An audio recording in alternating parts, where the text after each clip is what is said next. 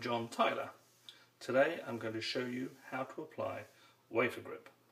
Wafer grip is a temporary adhesive used for bonding semiconductor wafers to substrates or handle wafers. It's a relatively simple process. With a little bit of practice you can become quite skilled at it. To start with I have the materials.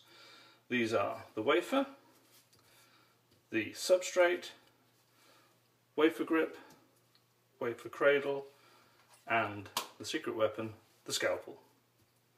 Step one is to take a piece of wafer grip and gradually raise the edge by rubbing it with your finger, like so.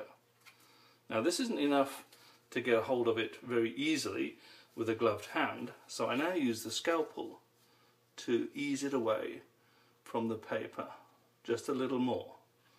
Now that's not enough for a reliable peel, so I use the scalpel between the paper and the wafer grip and my finger to ease it back a little more.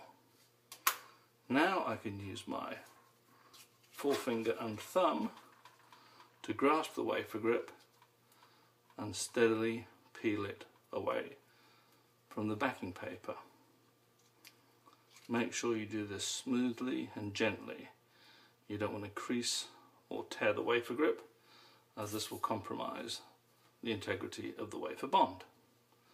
Now to make the stack, apply the wafer grip smooth side onto the carrier or substrate and center it.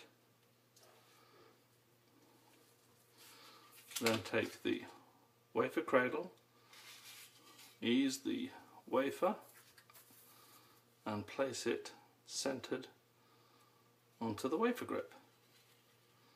Now you will see that we have wafer grip all the way around the wafer. This is a good practice, especially for the wafer thinning process, because if you don't have a good bond all the way around to the very edge, you will get chipping of the wafer. Now we have the wafer stack ready to go into the DXB wafer bonder. And that's how you make a good wafer bonding stack. If you have any more questions, please email me at jtyler at dynatex.com. Thank you.